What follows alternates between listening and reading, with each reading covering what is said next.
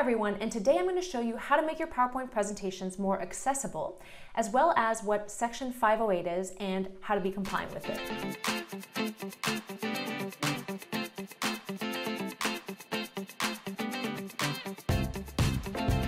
My name is Camille Holden, and I'm a PowerPoint expert and coach. I help busy professionals save hours of time and gain peace of mind by helping them master the software that they use every day rather than letting the software be the master of them. According to the World Health Organization, more than 314 million people are visually impaired around the world, and an additional 466 million people are living with hearing loss. That means there's a very high chance that someone in your audience is affected. So how do we make our presentations more accessible for all people? Let's take a look. Okay, so accessibility in PowerPoint. Let's take a look.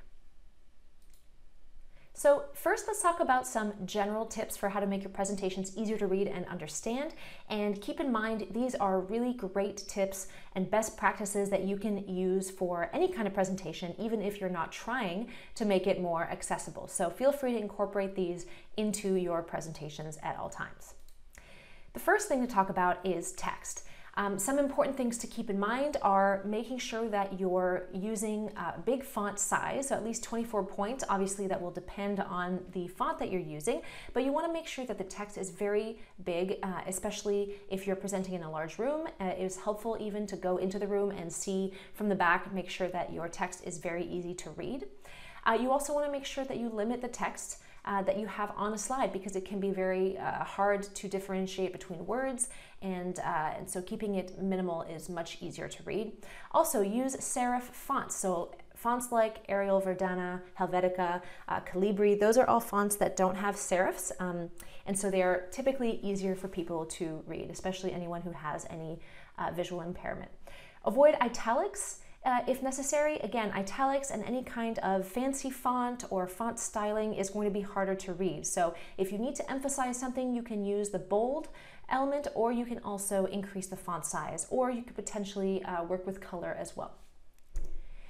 Now, speaking of color, uh, one of the things you want to do is make sure that you're always uh, employing the, the concept of contrast. So you want to make sure that there's high contrast between the background and text, um, between uh, elements inside of an image, uh, etc. Any other item that you have on your slide needs to have high contrast, otherwise things tend to blur into each other and be hard to read. In terms of brightness, one thing to keep in mind is a white background like I'm using can potentially uh, have a lot of glare and be very hard to read in a, a dark room, for example. So if you're going to be in a dark room, perhaps using a dark background with white text overlaid on top of it would be easier. So those are just some best practices, but specifically uh, that makes it a lot easier for people who are experiencing visual impairment to, uh, to read and to process the information in your presentation. Now, you want to make sure that you avoid reds and greens. There are quite a few people who are colorblind, uh, and so using reds and greens makes it very difficult for those people to distinguish elements uh, within an image, within graphics, etc. And so uh, that is just something very important to keep in mind. And you want to make sure that if you do have to use red and greens, and I'll show you an example in a minute, that the brightness is adjusted so that, or that you have text overlaid on top of it so that it is, uh, there's an extra element there to indicate the difference between the two things. So this is a slide, for example. At the top, we have two different tables, one that uses color only to distinguish between um, the different status of, of a project. So red typically means, you know, all good, yellow is, you know, not great, and red is not, not good at all. So um, in, in the example on the right, I have actually added text on top of it. So maybe you do need, or you do want to keep using yellow, uh, green, and red uh, this may be harder for colorblind people to see, but if you add the text on top, which is really not that difficult to do, then it makes it easier for them to, uh, to see. The same thing for the charts below. We have two examples uh, with uh, the example on the left uh, here is using uh, two colors that are very similar in um, in sort of darkness or brightness. And so when you turn it into gray, it looks like this. It's very hard to distinguish between the two of them. If you use, uh, it's not as aesthetically pleasing, but this is a lot easier to read for someone who experiences color blindness because they can distinguish between the brightness and know that this line is different from this line. So those are some things to keep in mind. Now, the other thing you want to do here in this example, we had a chart. In general, you would like to avoid using charts because charts have a lot of data. It is very hard to uh, grasp very quickly. If anyone has dyslexia or any kind of visual impairment, um, eh, charts are just confusing. If you're trying to make a point, a statement with a chart, you can just make that point, use the data, make the statement, and you don't need necessarily to show everything else that's in there. Again, uh, keep it simple by being mindful with animations and videos. Um, these are things you want to limit, or if you're having them, they should have low speed, be captioned, very easy to process. If you're um, using columns, for example, of text, if you're using two columns of text, make sure you use the column tool and not the spaces or the tabs. And I will exit here out of presentation mode just to show you what I mean. So if we wanted to make this uh, two columns, instead of tabbing, tabbing or using indentation or something like that, right? We want to make sure that we use the columns tool, which is up here in the home tab of the ribbon. Oops, excuse me, right here. You make two columns. The reason is that uh, screen readers will be able to interpret this as two columns. If you just create a spaces or tab stops, etc., it will read across, right? So using the column tool tells the screen reader that this is one column, the text should be read in this order and continue down in the, in the second column. So that is one thing to keep in mind. The same thing is for lists. Instead of, uh, if you're typing text, instead of typing a dash, right? To create your list, you want to make sure you're using the list feature and you'll notice here the list feature is selected or it can also be the numbers feature. But either way, it should be one of these two items so that the screen reader again knows that these are lists and can um, point that out to the person. If you're using tables, same thing. Please do not paste in a picture of a table. Do not merge and split cells. Just use the very basic uh, table tool here in PowerPoint. It's very easy to use and that will tell the screen reader as well that, um, that we have a table here. The next thing I want to bring up um, is uh, speaking of charts. So if you do need to use charts, um, you know, one thing to keep in mind is again, what is the difference between this chart and this chart?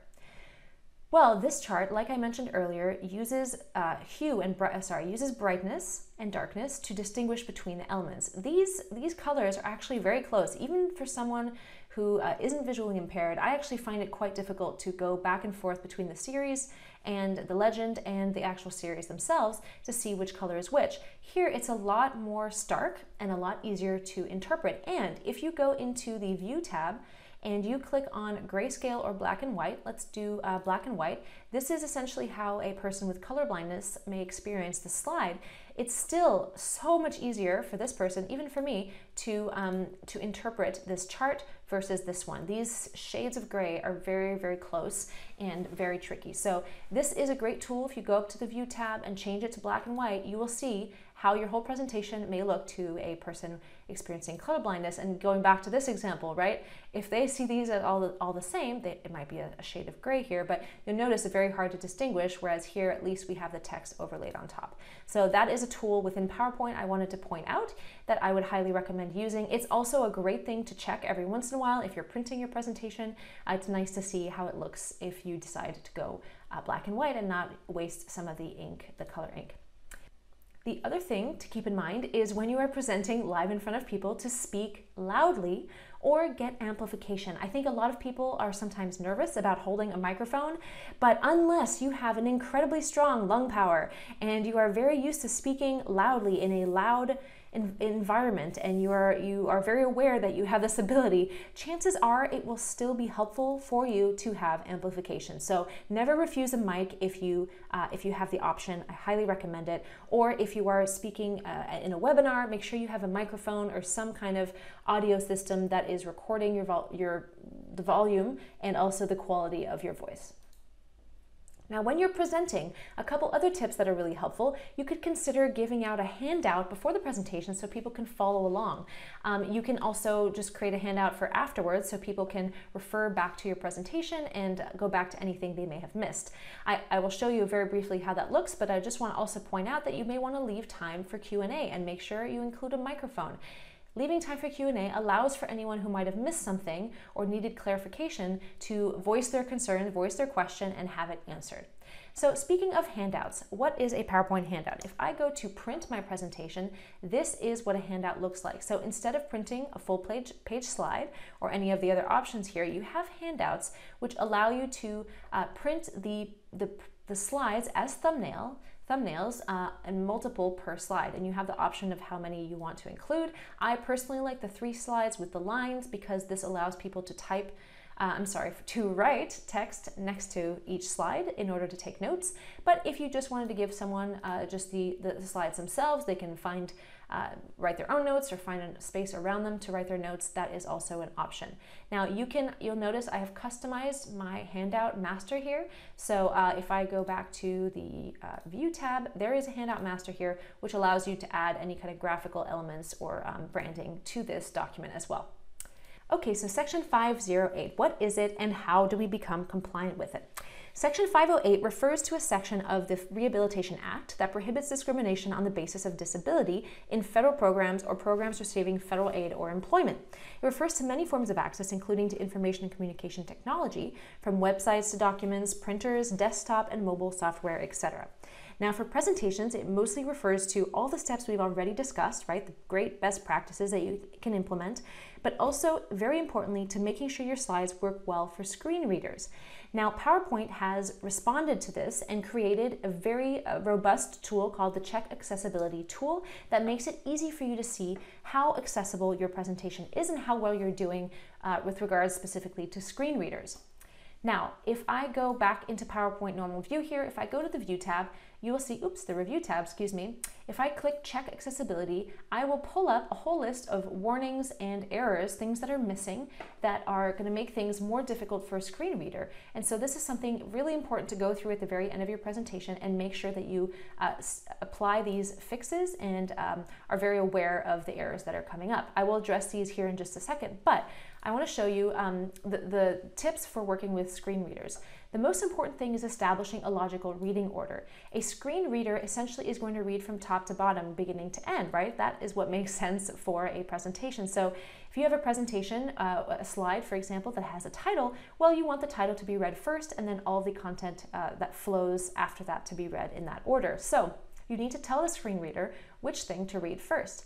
So if I go to reading order pane, I will see here that actually one of the errors that we had listed earlier up here, check reading order, is that the title is actually, um, oh, sorry, this one. The title is actually being read second. So we wanna make sure that we bring this up You can use a little arrow and that will remove the little warning that we had here, the error message. So we want to make sure that the title is read first and the content afterwards. And any content that you want to read be read successively after this needs to flow in this order. So check the reading order.